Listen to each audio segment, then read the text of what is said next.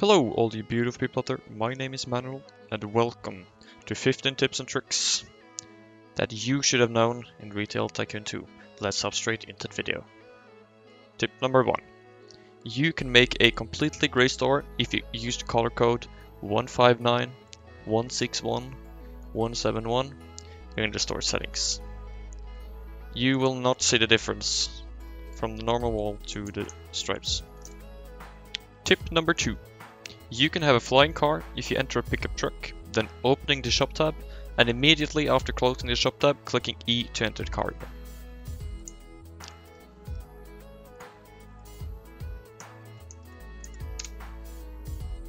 Tip number 3.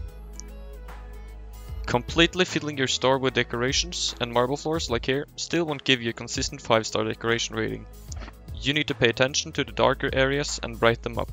Having 5 star decoration doesn't mean putting lots of decorations in one area, but putting some decorations everywhere no matter what kind it is. Tip number 4. The different decorations affect the area more than others. For example, the bigger ones, like the fountain, affect a bigger area than 4 bowls even though both in total give 40 decoration. Tip number 5. If you play during the beta mode and have a golden statue in your store, you can make it glow up by placing a roof above it, then placing a round light and removing the floors.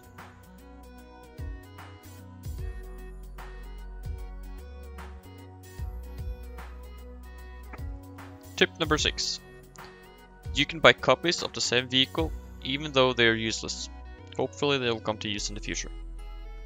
Tip number 7. Your manager does earn your money, however you must be patient with the earnings because he wants to fill all the storage capacity and also have something in extra. Tip number 8. When driving a vehicle into the water, it will start bouncing up and down. This works best on the smaller vehicles and especially the Cybertruck which also starts spinning around. Number 9. When jumping off the world, you can adjust the character free to land on top of the mountain where the lighthouse is located.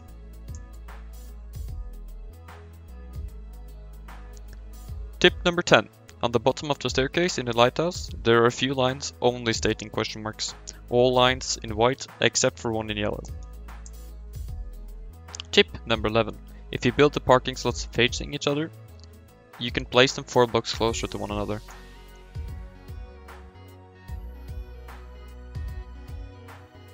Tip number 12. Some shelves give a bonus called Appeal. This bonus gives customers a higher chance of buying the items stocked on them. Tip number 13. To figure out why your store is low rated crowdedness, you can click on this menu and see where it glows the most red. The more red an area is, the more space you need to expand around it to make it less crowd. It is usually more crowded around binding areas like doors.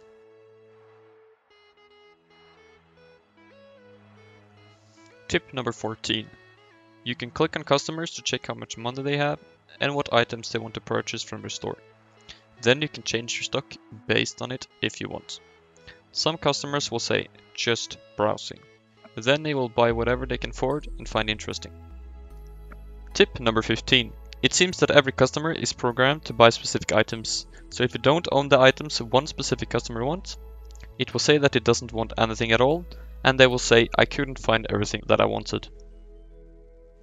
You can subscribe to my YouTube channel for more epic fun facts and tips in the future, gameplay of the game and also a huge upcoming video called How to Become a Millionaire in Under 24 Hours in Roblox Retail Tycoon 2.